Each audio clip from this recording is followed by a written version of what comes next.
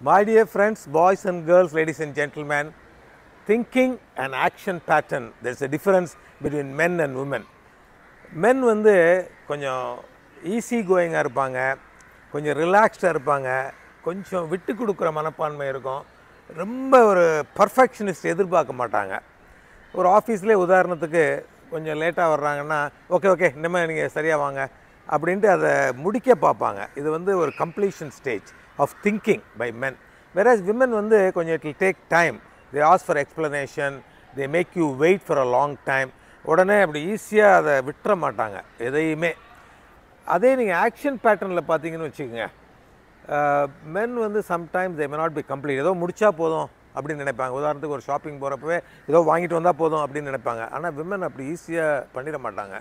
ஒரு உதாரணத்துக்கு ஒரு சாரீ கலர் காம்பினேஷன் பார்த்தாவே நிறைய விஷயங்கள் பார்த்து தான் அதை டிசைட் பண்ணுவாங்க. ஆக்ஷன் வந்து எப்போவுமே விமென்ட்டை வந்து மோர் கம்ப்ளீட்டாக இருக்கும். அப்போ நம்ம என்ன இதுலேருந்து லேர்ன் பண்ணிக்கிறோம் அப்படின்னு சொன்னால் think like men and act like a woman அப்போ ரெண்டு பிரெயினையும் யூஸ் பண்ணுறீங்க men and woman combination you want to be successful in life my dear boys and girls think like men and act like a woman thank you